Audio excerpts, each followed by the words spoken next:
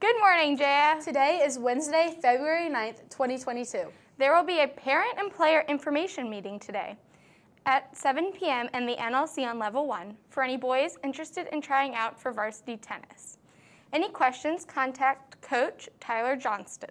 Do you sing or play a musical instrument? Would you like to compete for prizes? See Miss Price in room 4003S to apply for the Lions Club Band Music Competition.